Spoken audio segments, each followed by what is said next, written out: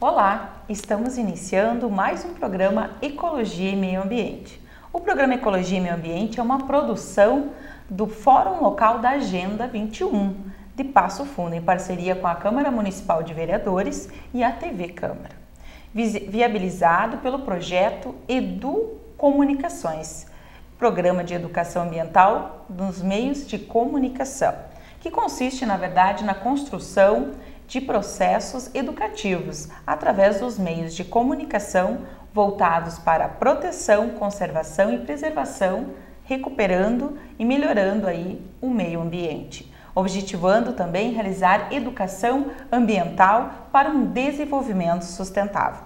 Os espectadores né, estão convidados a participar dessa construção das pautas, então deste programa Ecologia e Meio Ambiente aqui pela TV Câmara e também do programa da Rádio Ecologia e Meio Ambiente, que vai ao ar todas as quintas-feiras às 16 horas na Rádio Planalto AM 730.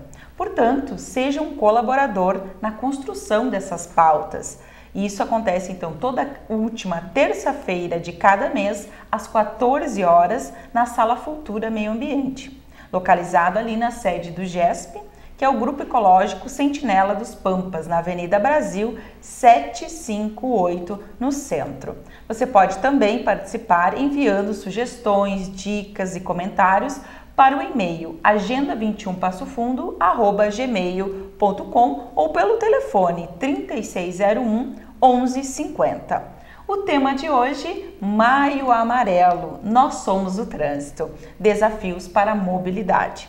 Estaremos então com os nossos convidados, né, o Luiz Fernando Pereira, ele que é diretor de ensino do CFC Autotec, e também a Eloy Fibig, ela que é do Lions Clube Amizade e multiplicadora da educação para o trânsito.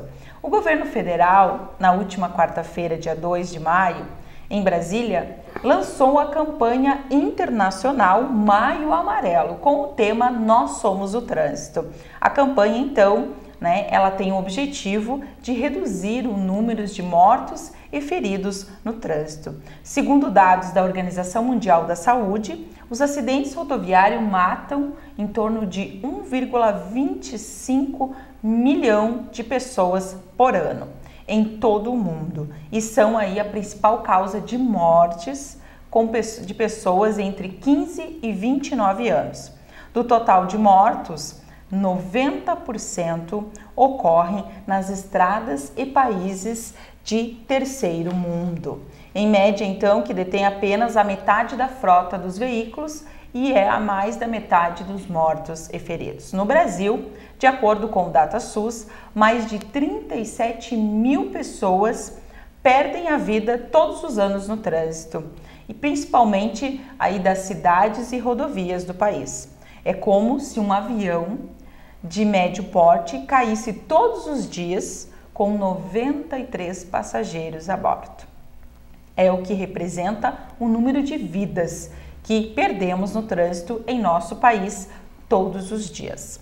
Isso então foi uma declaração do ministro das Cidades, Alexandre Baldi, que participou do lançamento aí do Maio Amarelo.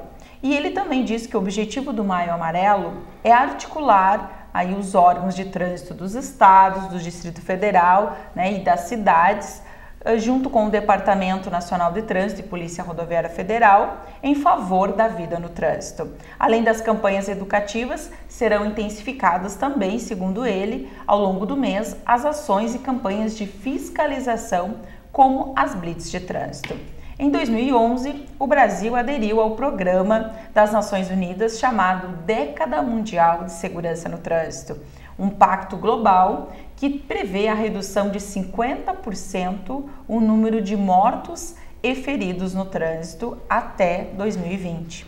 De lá para cá, o Brasil conseguiu diminuir 25% o número de mortos em acidentes automobilísticos. O Maio Amarelo consegue fazer né, trazer para a sociedade essa atenção para o tema. Mas de nada adianta o esforço de cada órgão se o motorista, se as pessoas ao conduzirem nas cidades ou estradas não tiverem responsabilidade e a devida consciência de que tem em seu poder uma arma de grande potencial. para matar e lesionar pessoas. Isso afirmou então o diretor-geral da Polícia Rodoviária Federal, Renato Dias. E para debater o tema, hoje então está aqui conosco né, no programa o Luiz Fernando Pereira, ele que é o diretor de ensino do Celtotec. Seja bem-vindo ao programa, Fernando. Obrigado, Raquel. E também a Eloí Febig, ela que é do Lions Clube Amizade e também participa aí há mais de 10 anos né, do grupo Multiplicadores da Educação para o Trânsito, onde faz um belíssimo trabalho junto com as suas companheiras aí do Lions Clube Amizade. Seja bem-vindo então, Eloy. Obrigada, Raquel. E nós vamos começar aí o programa falando né, sobre o, como vocês, a gente nunca conversou sobre isso, eu acho importante a gente saber a visão de vocês sobre o trânsito, sobre o nosso trânsito, né? Qual a avaliação, então, um balanço que vocês nos trazem aí sobre o trânsito no estado do Rio Grande do Sul e principalmente em Passo Fundo, que é onde a gente vive, né? onde nós passamos aí a nos locomover, onde nós temos que ir para a escola, temos que trabalhar todos os dias. Então eu começo com o Fernando, que tem aí um, um vasto, né? muitos anos de experiência nessa área. Fernando, como você faz então o balanço sobre o trânsito no Rio Grande do Sul e em Passo Fundo? Bom, primeiramente, obrigado pela, pelo convite. Uh, essa, essa pergunta é muito ampla e muito difícil também uma resposta, né? Uh, em, a nível de, de Estado, eu vejo que a gente está trabalhando de uma forma intensa como formiguinhas, para isso ir reduzindo toda a questão comportamental. Né? Então, existem várias ações trabalhando com relação o número de acidentes, é o número de vítimas e, se possível, chegar à última causa, que é diminuir o número de mortes. Né? Bom, em relação à nossa cidade, eu tenho mais propriedade de falar sobre ela, porque junto com vocês eu venho já e com outros colegas há vários anos trabalhando nessa área, né? Então a gente doa um pouco de nós, um pouco da empresa, um pouco do trabalho, um pouco dos nossos colegas de uma forma oculta muitas vezes, né, não muito visível, né, nessas boas ações que automaticamente no somatório total isso vem beneficiar todos, né? Então, Passo Fundo, eu vejo que ainda a gente pode trabalhar mais sobre isso. É, mas não é o, o, trabalhar que eu penso, Raquel, é, é o envolvimento das pessoas, o engajamento das pessoas é a doação delas para o bem comum do trânsito. Né? Todo mundo depende de uma fração muito numerosa da questão de trânsito, mas a doação para isso reverter essas coisas é muito grande. Né?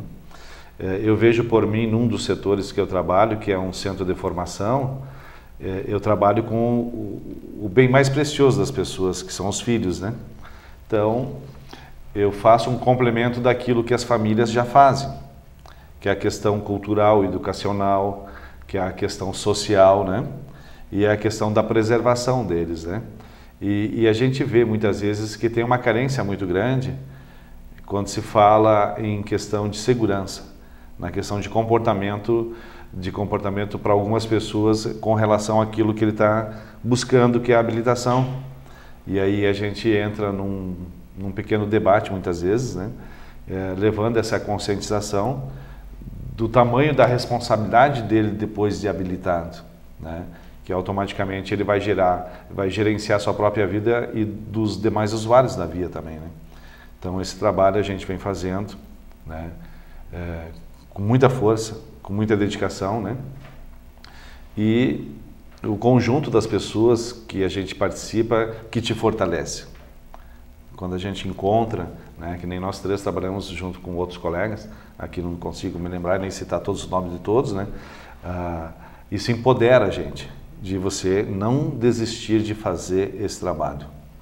Com certeza, né? Em Passo Fundo nós temos um diferencial.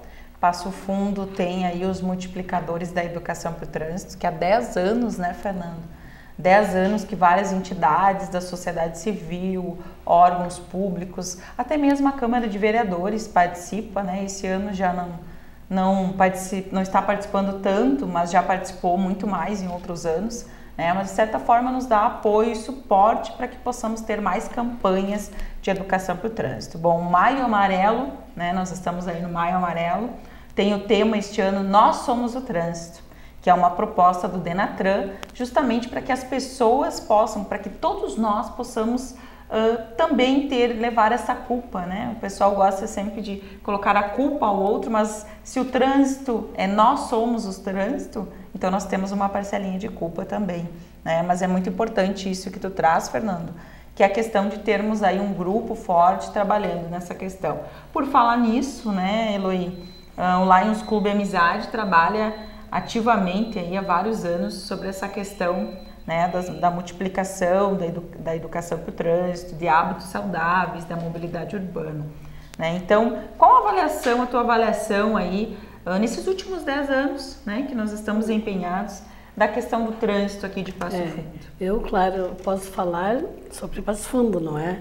Porque nós somos a entidade civil. Embora seja a maior ONG do mundo, Lions, que tem maior número de pessoas que participem, em maior número de, de estados, de cidades e países do mundo. É internacional. Então, nós, nós nos associamos a esse grupo exatamente por isso, porque eh, nós pensamos que a educação no trânsito é primordial. Em princípio, ó, nós temos que pensar não só na, na, nos carros andando na rua, mas também nas pessoas que, que, estão transitando, na maneira como elas ultrapassam na faixa de segurança ou não, na maioria das vezes não, na maneira como estacionam os carros. Até isso não é correto em Passo Fundo. Na maneira como ah, ah, se dirigem aos outros, qualquer coisa já se ofende, já é, também não, não, é, não é bom. Então, nós estamos envolvidos nisso exatamente na questão educacional, onde a gente possa, como nós já fizemos muitas campanhas, para mostrar que não é bom quando as pessoas não se comportam bem no trânsito. Nós, nós queremos mostrar que podemos resolver esse problema de alguma maneira. Então, é esse o nosso objetivo. E agora faremos um evento junto com o núcleo no shopping o dia 15. Então, o núcleo da, educação para o trânsito estará lá fazendo escolinha, não é? Foi a escolinha, a escolinha de, trânsito. E nós fomos convidados a participar e queremos participar, nos oferecemos até para participar. Não, não vamos até. Então, nosso objetivo é a educação. Se nós queremos assim que as pessoas sejam educadas, eles têm que ter uma certa cultura também. Então, eles têm que ler, tem que é, saber escolher os seus, os seus livros, tem que saber interpretar aquilo que leu, porque fazendo isso está se educando. Então, nesse dia, em vez de nós fazermos os panfletos, que nós vamos fazer também, mas nós vamos entregar livros, livros para as pessoas levarem para casa e ficarem com eles. Se quiserem dar para uma vizinha, deem. Se quiserem guardar, guardem. É deles o livro. Nós só queremos que, sem nenhum compromisso, que a pessoa leia e entenda aquilo que diz ali e possa aplicar na sua vida, tanto na vida comum do dia a dia, como no trânsito, como em qualquer outra circunstância. É, com certeza, né? A, a educação ela é a arma mais poderosa para mudar o mundo.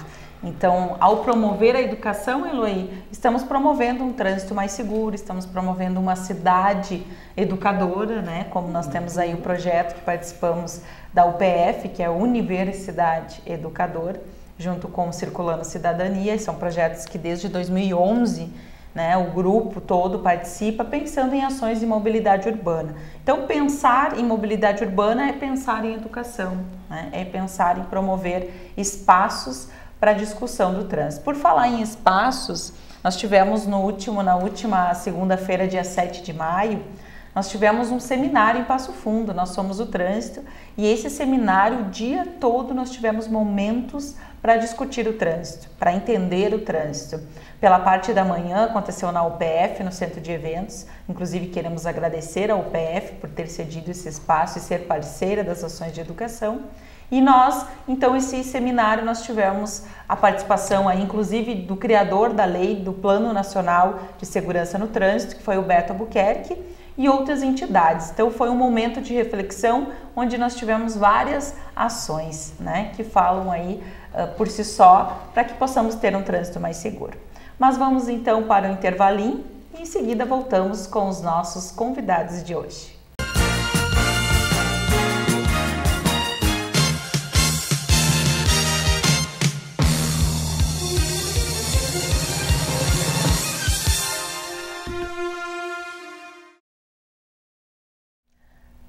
Voltamos com o programa Ecologia e Meio Ambiente. Hoje nós estamos falando do assunto Maio Amarelo, Nós Somos o Trânsito, Desafios para a Mobilidade Urbana. E os nossos convidados, então Luiz Fernando Pereira, ele que é diretor de ensino do CFC Autotec aqui de Passo Fundo, e a Eloí Fibic, ela que é do Lions Clube Amizade e também multiplicadora da educação para o trânsito. Bom, continuando então o nosso bate-papo de hoje, né, no programa Ecologia e Meio Ambiente, vamos falar um pouquinho sobre o Maio Amarelo. Eu acho que é importante nós falarmos aí das ações que serão feitas. Nós temos em Passo Fundo uma agenda coletiva, onde durante todo o mês teremos ações diferenciadas. Inclusive, eu sei que tem ações do CFC Autotec também, né, Fernando? O que vai acontecer, o que está acontecendo uh, pelo CFC Autotec durante esse mês do Maio Amarelo? Esse mês para nós ele está muito uh, corrido, né? Em, em proporção que Uh, fazia muitos anos que a gente não tinha tantos eventos em, em, com relação ao Maio Amarelo. E, e, teve uma aceitação muito grande esse ano na, na sociedade de Passo Fundo. Nós temos o evento na Anguera, nós tivemos o evento na UPF, nós estamos tendo um evento hoje com relação à IMED, vai ser apresentado lá. E to, todo esse trabalho nós atendemos, parece, em torno de quase 1.600 alunos lá junto com o núcleo e com os multiplicadores no ENAV, né? Eu não sei a proporção ainda de pessoas que vai ser atingida com relação a isso. Daí tem mais os trabalhos internos nossos, né? Fora, uh, tivemos a oportunidade de algumas empresas também ser convidados na CIPA, nessa parte deles, para fazer todo esse trabalho, né? E todos eles a gente veio apresentando o agente transformador do trânsito, né? Que é um trabalho que a gente fez, né? É, com relação a isso, a questão da prevenção, a questão da segurança e foi bem bem bacana assim quando a gente construiu ele, que foi um pouquinho de cada conhecimento e, e, e o bacana de tudo isso que foi uma pessoa neutra que nos ajudou, né? Que foi o Cassiano, que ele fez uma provocação, né? Como que está o trânsito, né? Aí que nasceu o, o agente transformador do trânsito para a Autotec, né? Que a gente provoca as pessoas, né? uma forma de pensar sobre isso. E a segunda fase é o que eu estou fazendo para mudar, né? Então, é muito gratificante com relação a todas essas atividades, né? E também a, a gente vê a aceitação hoje da sociedade e principalmente dos jovens, né? Nossos colegas foram trabalhar também sobre o AGTT e sobre o Maio Amarelo é, em escolinhas, né? é onde que estivemos juntos com, com, com a guarda também, né? E, e é uma coisa assim uh, inovadora de você ver isso de um pequeno cidadão já tentando uh, levando para o seu dia a dia o que a professora falou, a questão cultural, a disciplina das coisas, né? Como que eu me porto, como que eu cumpro as regras, né? Eh, eu não dependo tanto do fiscalizar, né? Porque é um dever meu fazer certos procedimentos, que não deixa de ser regras, né? Isso faz um, uma sociedade melhor também, né? Para ambos, né? Tanto quem trabalha na transformação, né? De multiplicar uh, essas situações que o trânsito pode causar, né? Quando a, a, acontece o descuido, né? E também a, a questão da honraria, né? De você se sentir parte de algo que vai ficar um legado por um bom tempo para as pessoas, né? Isso é muito gratificante. É muito importante essas ações que acontecem aí, né, idealizadas uma agenda coletiva, né? Passo Fundo tem uma agenda coletiva do Maio Amarelo, onde diversas entidades que trabalham né, e a sociedade, sociedade civil reunido então em favor do seguro. E Eloy, o Lions Club Amizade, então, ele tem várias ações que acontecem durante todo o ano, mas gostaria que você falasse um pouquinho mais aí do trabalho que será feito aí no Maio Amarelo pelo Lions Clube Amizade. Nesse ano. Bem, a gente já vem trabalhando no Maio Amarelo há muitos anos, né? Todos, todas as vezes que teve, nós participamos ativamente do Maio Amarelo. E nós, assim, no, nosso objetivo maior no clube, Clube de Lions, é que haja um, um, um respeito. O Fernando falou uma coisa que eu, eu gostei muito, que as pessoas saibam que aquilo que tem que se fazer, que aquele é o dever. Que se não cumprir com aquilo, vai acontecer uma coisa que não é bom para ninguém. Então, essa parte assim, ó, de orientar as pessoas no trânsito, de, de não querer revanchismo. Por exemplo, um ultrapassa, o outro faz um revanche. Esse tipo de coisa eu não, não, não gosto e a gente trabalha nesse lado, mesmo com a família, mesmo nas reuniões do clube. É, onde a gente estiver, a gente sempre procura evitar o revanchismo, porque aí também é uma educação muito, muito importante que a gente faça.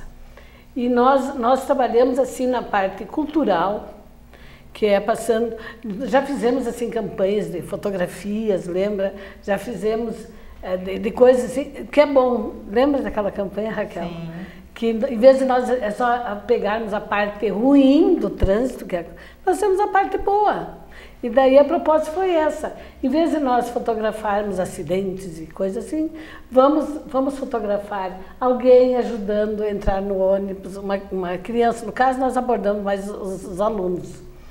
Entrando no ônibus, atravessando a faixa de segurança, esperando o carro passar, o, ou fazendo um sinal que vai, vai passar. Então, nós, e, e, e eles fotografaram e nós fizemos uma exposição das fotos e até um concurso, né, Raquel? É, Eu acho que concurso. por aí é que as coisas devem andar. É, com certeza, foi um exemplo, né?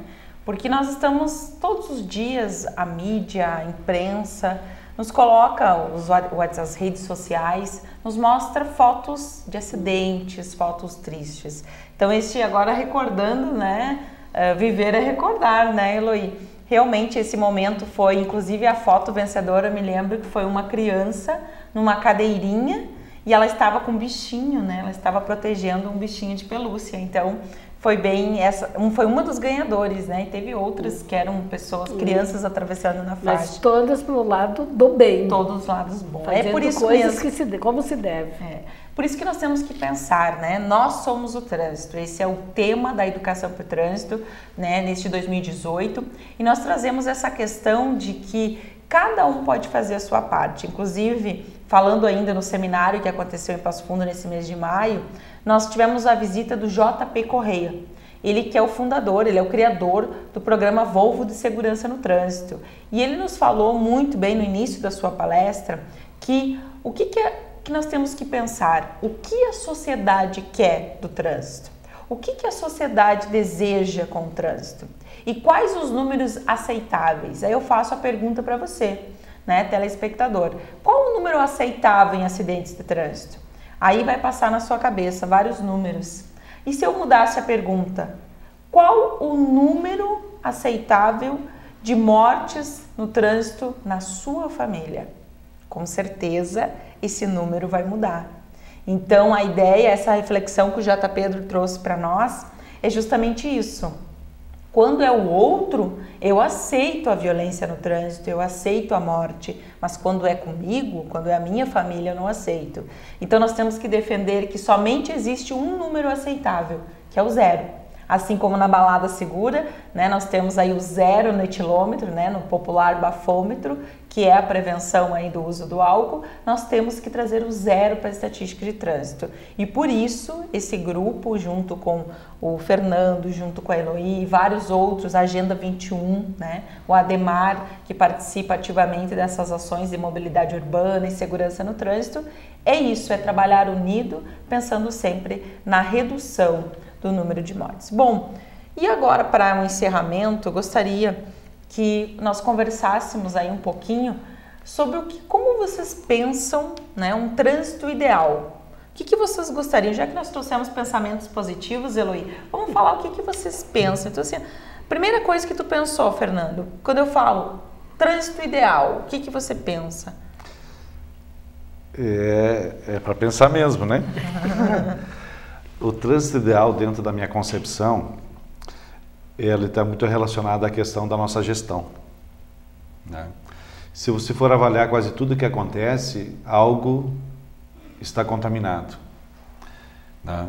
Então, o trânsito ideal deveria ser um momento onde que você dispunha de uma máquina, que aquela máquina faz todo o teu deslocamento com uma segurança, e que você consegue fazer esses deslocamentos de uma forma humanizada, programada, e que você não precisa descontar toda a tua gestão versus a velocidade, né?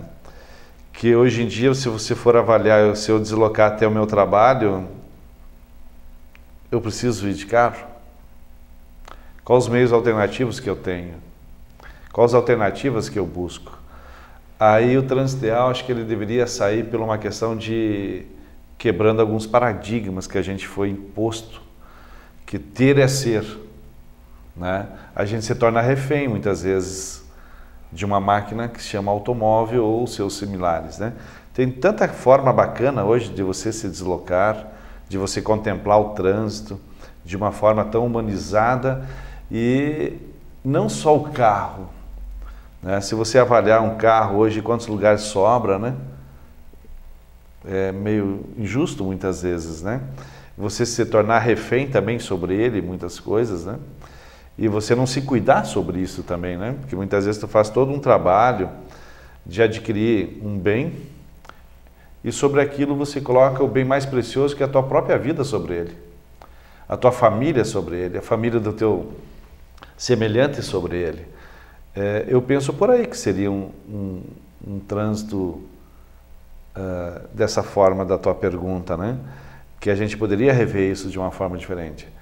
Que essa velocidade que nós vivemos, ela não está bacana. Essa velocidade que muitas vezes a gente não consegue nem permitir mais as nossas emoções, né? E a gente está colocando isso lá onde que a gente compartilha e que dá o nome de vias, chama-se trânsito, né?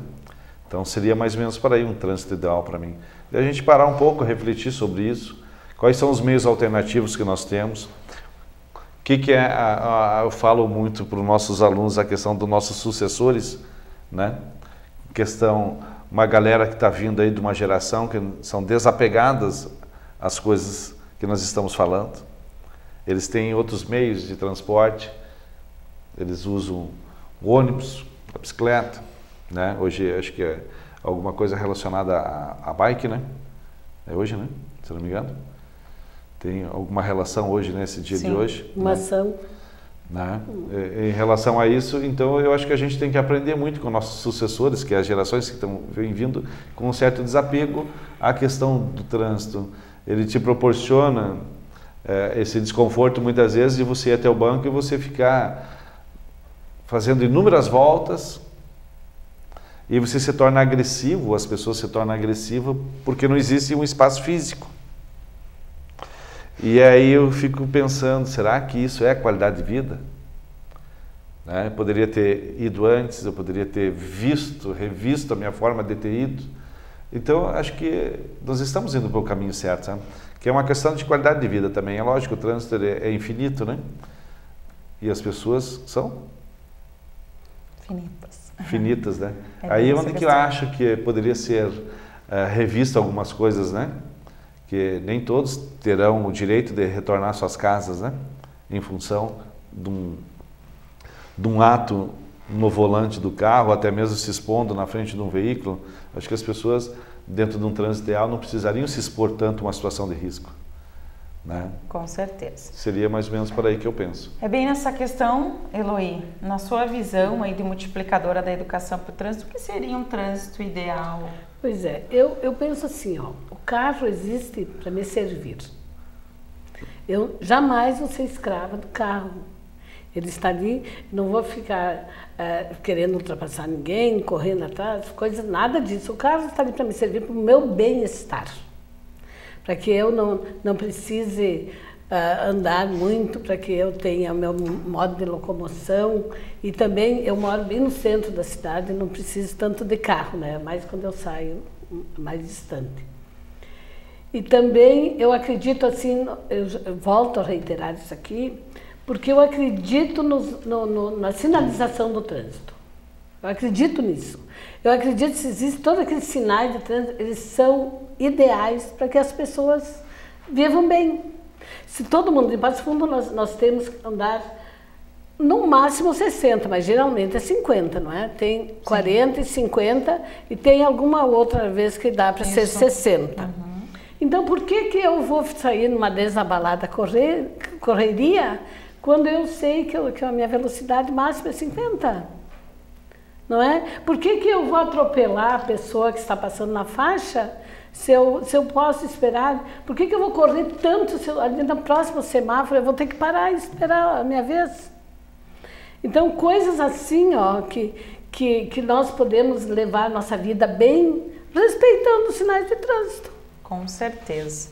É, o trânsito ideal, ele traz essas duas questões que a Eloy e e o Fernando trouxe, trouxeram, que é a questão da humanização. Né? Eu acho que a empatia, você se colocar no lugar do outro, com certeza nós teríamos um trânsito ideal, onde todos poderiam uh, circular, né? termos qualidade de vida, que é isso que nós buscamos, né? é qualidade de vida. Trabalhamos tanto é para isso e por isso nós queremos então Uh, infelizmente o tempo já se esgotou, nós temos que nos despedir, mas quero agradecer aí os nossos convidados, a Eloí, né, nossa multiplicadora da educação para o trânsito há 10 anos, gratidão é a palavra, né, ao Luiz Fernando, também multiplicador há 10 anos trabalhando, temos muito que agradecer a essa pessoa, porque se estamos nesse patamar, nós devemos muito a ele, porque aprendemos muito com ele né, nessa questão da educação para o trânsito. Então, para finalizar o programa, né, queremos agradecer a sua companhia e se você tem algumas sugestões, lembrando, você pode enviar um e-mail então para agenda21 passo fundo gmail.com. Né? Um abraço a todos vocês, um maio amarelo em paz e lembrando que nós somos o trânsito.